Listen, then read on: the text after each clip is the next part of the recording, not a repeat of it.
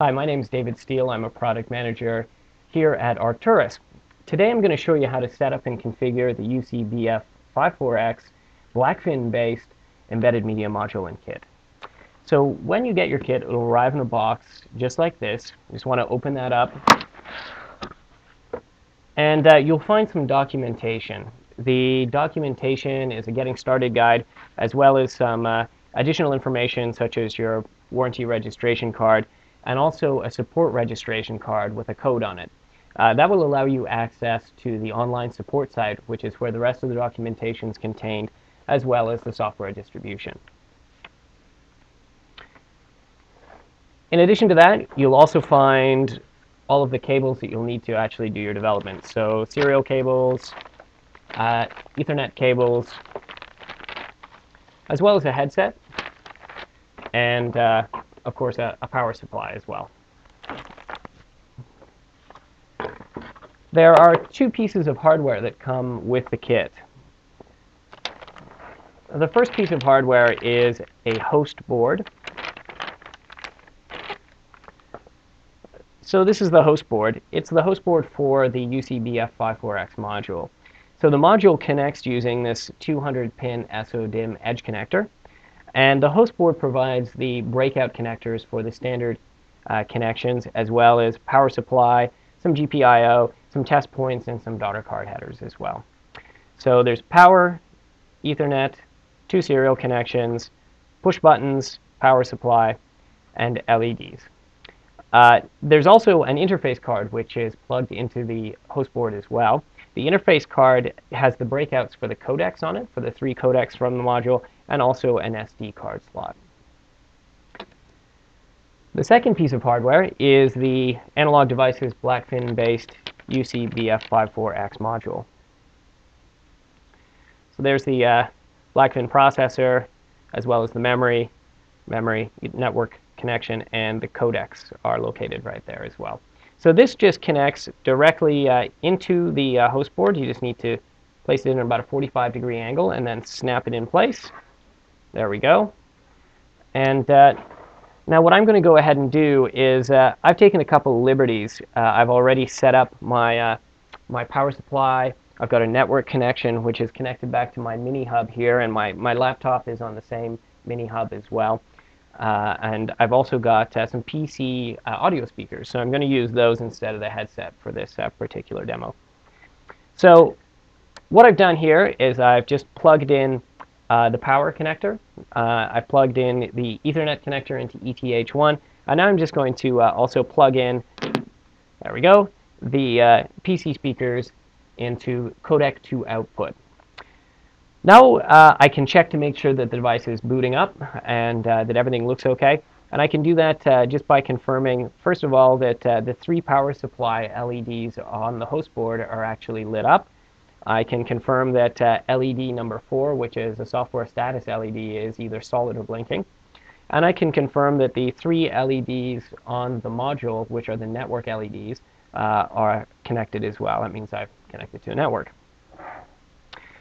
So the next thing I want to do is I want to log into the device and configure it. Uh, so to do that, I need to know the IP address. And there's a cool little tool inside this uh, module and the software that's pre-installed uh, that helps you uh, find that out. So all I need to do is press, uh, press SW3, so located right here.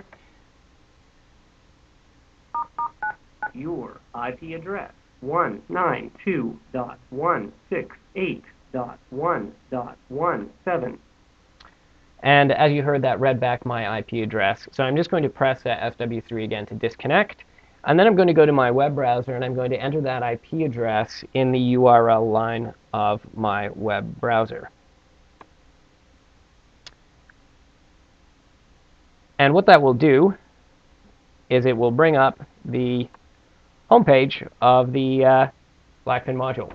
And what I'm going to do next is just log in. So I'm just going to click on the login icon.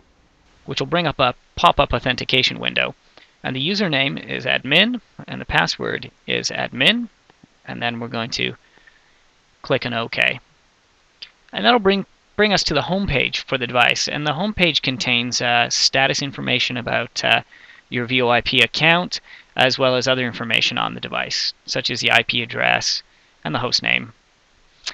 What we're going to do next is just configure the voice over IP account by going to the top and clicking on the voice over IP tab page. This will open up the account configuration page. Most accounts can be configured uh, using this page, and there's some accounts that are already predefined just to help you out a little bit. So account number one is set up for a Vonage soft phone, account two is a SIP phone account, account three is free world dial-up, and account four is set up as a generic Nortel account.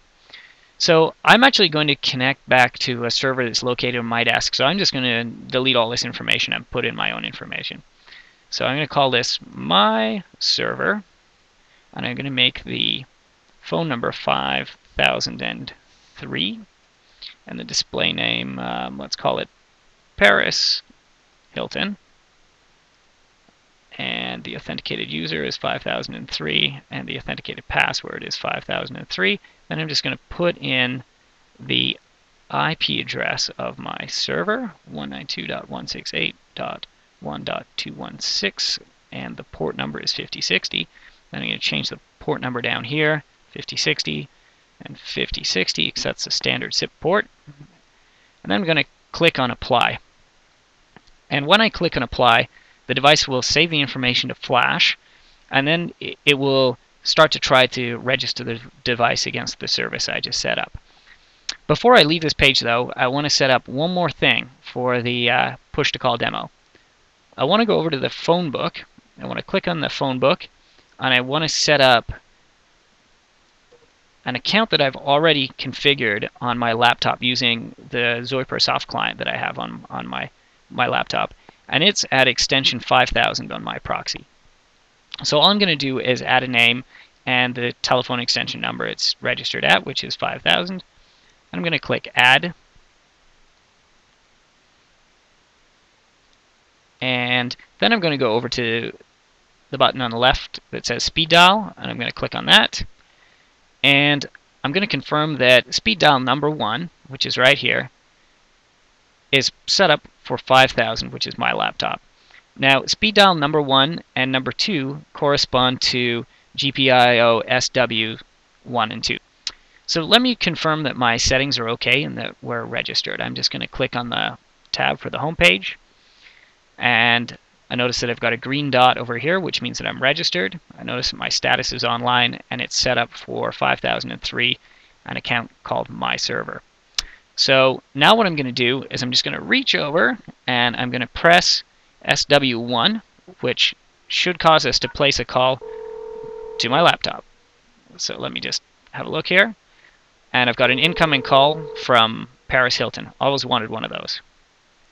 And now I can test the voice, and you can hear in the background uh, that's my voice coming up. So I'm just going to disconnect that. And that's how you run the push to call demo.